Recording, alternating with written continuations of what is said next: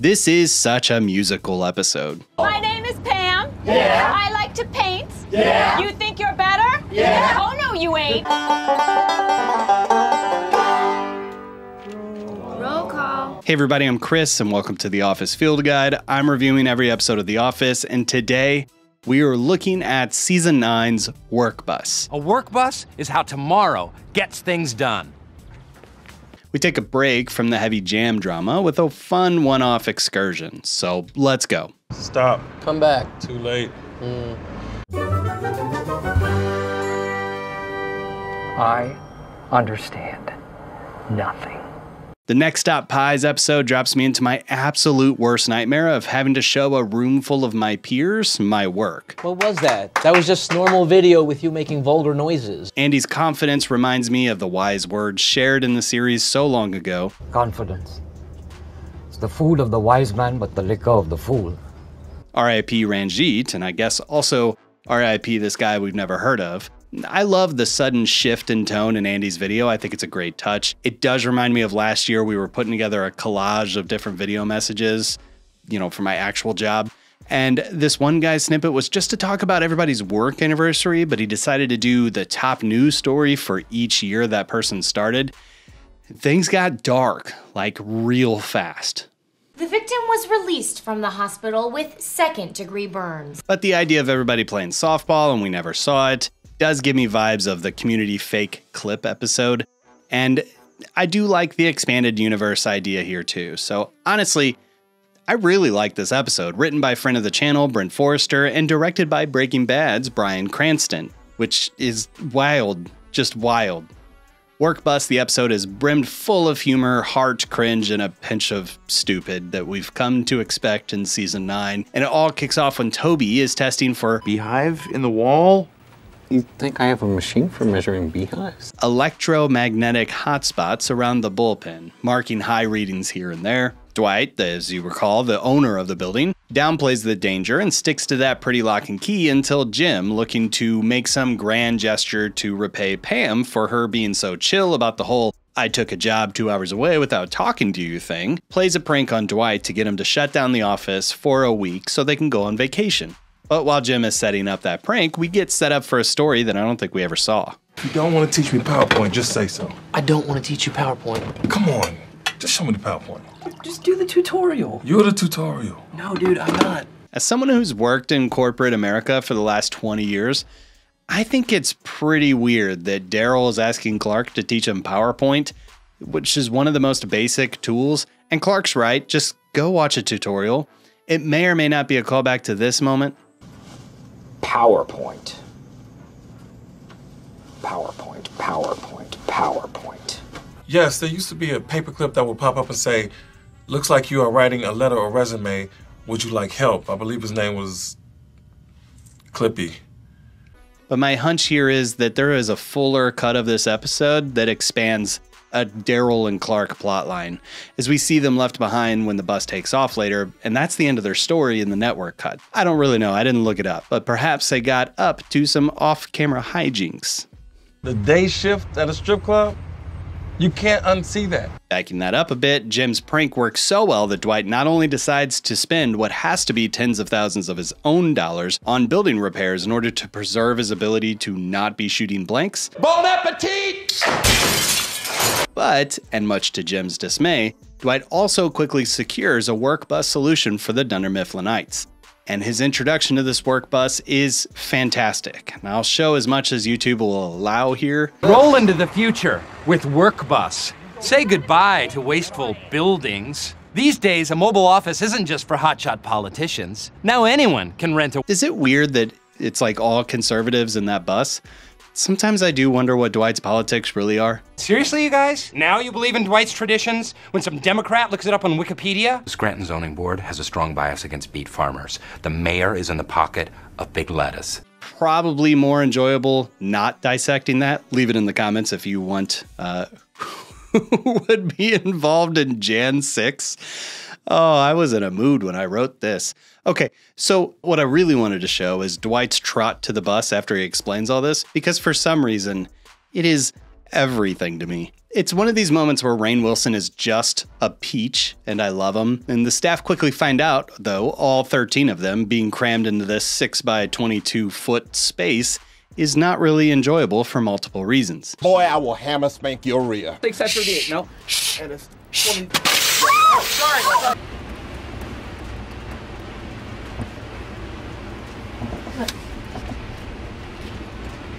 What? What? Ah, ah, oh my god! And Jim makes an attempt at winning Dwight's humanity over here to do something special for Pam. And like, I think Jim's play here is kind of dumb because he did just cost Dwight, again, what has to be thousands, if not tens of thousands of dollars for his prank. And they just gloss over that like it's no big deal. But Jim takes the matter to the boss, who is 100% indifferent to anything. Andy, don't you think we'd all be a lot more productive if we looked up and saw the best rural pie stand in Pennsylvania? Pies, pies, pies. The fat people have spoken. And that fat people have spoken line may be the best Andy line of this entire season, maybe of season 8 also. But things are not all rainbows and sunshine, as it turns out, because Nellie, following up a plot line from the Robert California era, is still trying to adopt a baby. A baby what? A human? Which I'm not some traditionalist, but I do think that Nellie should maybe get settled a little bit more before attempting to adopt a kid. Maybe like hold a single job for a year, maybe get a driver's license, you know, just like basic things to take care of yourself and another person. Socky is her name. To her, though, the only holdup is a letter of recommendation from her boss who happens to hate her guts. Thinks I'm a monster. Should go back to Loch Ness. And the reward for its capture? All the riches in Scotland. And while the office journeys to Laverne's Pies, we not only get this moment, which does make me wonder if the office staff are living in a collective purgatory of some sort. Thanks.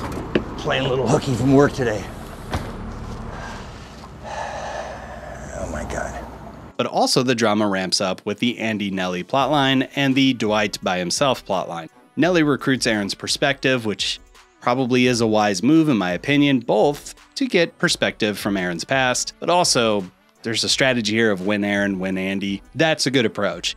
Andy does ultimately sign this letter of recommendation after several terrible things he says to Nellie. Those sand grains are tumbling with fury down not- the it's not steep entrapment sides if of I'm the hourglass. writing- But he only signs that after Pete, who seems suspiciously aware of what's happening behind this curtain, tells Andy that that's Erin back there crying, leaving Andy realizing that his behavior does have consequences. And once they're leaving their last stop for the afternoon, Kevin gives a warning about the timing. At 55 miles an hour, that just gives us five minutes to spare. 19,154 pies divided by 61 pies. 314 pies. Bonus points for whichever writer came up with having 314 as the amount of pies in that equation. But before they can leave, Dwight throws a fit and sits at the top of the bus like a petulant child until he and Jim have a heart to heart reminiscent of the stairwell scene from season 4. The two discuss in a very Michael esque way that even though Dwight doesn't have any kids, he should consider that the people who live in his building are like family. Building Kinder. And that family wants pie. Next stop, pies. Next stop, pies. What do we want? Pies! When do we want it? Pies! I did a whole month of waffle specials called Next Stop Pies, and it was different pie flavored waffles, pie inspired waffles each week on the food truck. It was delicious. But at the pie shop, there is so much going on between Kevin wanting to get pied, Erin and Pete off conversating in a beautiful sunset together, and a very sweet moment between Jim and Pam. We did it. You did it. Work Bus's vibe seemed to be a return to, let's say, the season six ish style of humor and filler storytelling. And it works as a break from the drama, letting audiences, along with Jim and Pam, to catch their breath. So, with that, let's dive into the deeper meaning.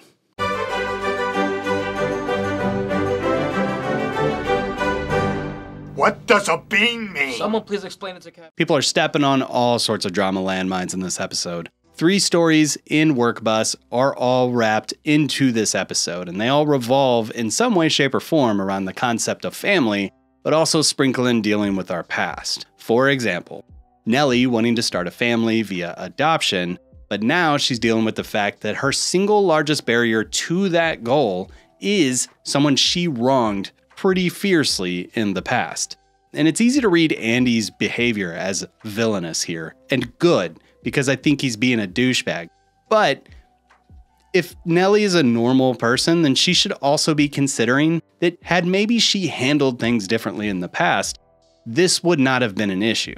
In the process, Nellie forms a relationship with Erin, whose concept of family is unfortunately pretty skewed by her past. Which, just listening to her recount the feelings of inadequacy that she has from never being able to close the deal, is just very heavy. Thus, watching Andy take away the ability of someone that at least Erin assumes would be a good parent, jury's still out on that, ends up being more than Erin can bear. And you can just hear Nellie comforting Erin in quite the motherly way. Oh no, no, look, it's it's all right. It really it isn't your fault. No, no, look, it's you were so kind, and it isn't anything to do with you. And that's kind of touching. I don't like this plotline, but it's kind of touching. Dwight, on the other hand, is still dealing with his disappointment that Philip isn't his kid, and now is placing all that blame on himself even though this humorous conversation about Jim's greatest prank exists. But that disappointment drives Dwight into believing some wild things. You mean you flooded my building with dangerous electromagnetic radiation as a prank? No. That's genius. That's the best prank you've ever done. I'll take it. and spending tens of thousands of dollars in the process. Jim mentions his family when he brings up taking the week off. I'm going to drive you up to the lake, give you a whole week on the water, just you, me, and the kids. And the entire episode's purpose is to make some big grand gesture to represent his love for his wife, seemingly out of gratitude, but you also have to wonder if there's a little bit of guilt mixed up in there, like he's doing this as penance for his gaffe. Laverne's pies, tires fixed also. We will be doing that and we'll be getting a dozen. You really think you can make it up to me with food? And honestly, it works. Pam eats it up just like that pie and the head lean thing. I love it. Honestly, this is the vibe of season nine. This is what it should have been. And let's rate this thing. This is the worst.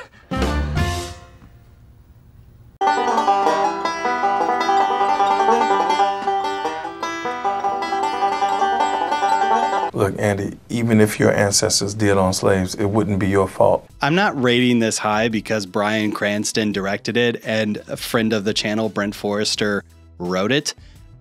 I think my feelings have come through in this video pretty clearly. I don't know if it's because I feel like we're in a drama desert or what, but Work Bus is always welcomed on rewatches in my mind. The cold opening, though, it's fine. I cringe, which is, I think, what you're supposed to do in this cold opening. But as someone who's made terrible videos and had to show those people live to friends and coworkers in the past, I have secondhand embarrassment that makes my stomach upset in this. So, look, my actual friends don't even know I have a YouTube channel. You're like in on the secret, everybody. All up, I I give this one a two out of five. That didn't work. That was not the right. It's it's fine. It's not great. Next time, do more failure stuff. As for this episode, it feels like a nice break, and I don't know if that's intentional or not. The drama bus line we've been on has been cruising through the beginning of season 9, and its destination seems to be driving to some dark places. And then we come to Work Bus, um, which turns that idea on its head. Perhaps it's foreshadowing, or perhaps it's just poor storyboarding and arc planning. Perhaps. Or perhaps it's just a real look at what I, and I'm sure some of you have experienced before, is sometimes you just don't know where things are going to end up. There's a certain cringe and drama building up through this because you don't know if they're going to get to the pies, but then they do. And that's great. I love that. I love that journey for them. So I'm going to give it the benefit of the doubt and say that this was the intentional roadside rest stop that this season needed. And to be honest, I find a lot of peace and enjoyment in the chaos of Work Bus in a way that makes me feel good. And any episode of The Office that does that warrants for sure higher than a 3 out of 5. But does Work Bus earn a 5 out of 5? Is it a perfect episode of The Office? And I feel like I can just say no, it's not. But I also searched high and low for criticism that I can hoist upon this one. Andy as normal is the worst part of this episode. That storyline between him and Nellie, it's for the birds. But also, I try not to judge episodes by telling stories that I wouldn't tell because it's not my story to tell. And this was their story to tell, and it was it was fine. I actually enjoy how that storyline ends. So I guess I'm giving this a five out of five. Question mark? That was not a fail. Five out of five seems extremely high, but ranking this season is going to be weird. We'll get there at some point. Thanks to all the patrons. Join up. I'm trying to get to a certain number of patrons to decide if I should restart the office or not. But you know, you could join if you love what we're doing here anyway. Join me next time when we look at Here Comes Treble, I decided acapella music is awesome. which I do recall having a lot of feelings about. Season 9, baby. Thanks for watching, and we'll see you next time. What was that? That was just normal video with you making vulgar noises.